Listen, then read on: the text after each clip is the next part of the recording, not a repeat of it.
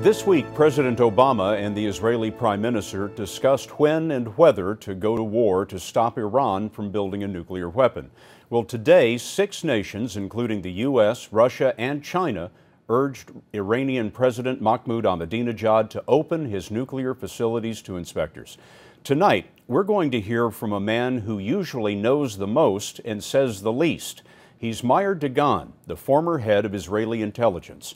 In a rare interview for 60 Minutes, Lesley Stahl asked Dagan about the question of war. You have said publicly that bombing Iran now is the stupidest idea you've ever heard. That's a direct quote. An attack on Iran before you uh, exploring all other approaches uh, is not the right way how to do it. The dispute seems to come down, though, to whether you are at the end of everything that you can try, or whether you have a lot of time left to try other things, which seems to be your position. I never said that it's a lot of time, but I think that. Well, more time. More time. For nearly a decade, buying more time was his job. The Iranians say Dagan dispatched assassins, faulty equipment, and computer viruses to sabotage their nuclear program. All the while, he was poring over the most secret dossiers about the Iranian regime, gaining insights and a surprising appreciation. The regime in Iran is a very rational regime. Do you think Ahmadinejad is, a, is rational? The answer is yes.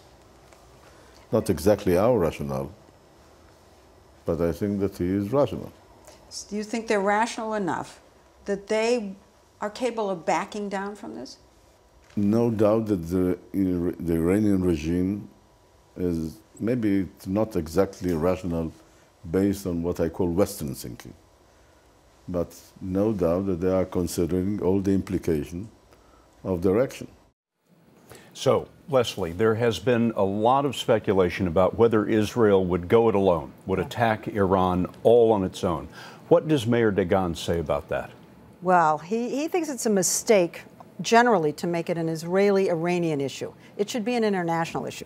Somehow the Saudis should be encouraged to speak up and pressure the United States. And what he really would like to happen is Israel sits back and the Americans do it for the Israelis. It's, it's, it would then be internationalized. He knows that Israel will be attacked, whoever does it, but they'll be attacked less. And what he's most worried about is the retaliation. Lesley, thanks very much.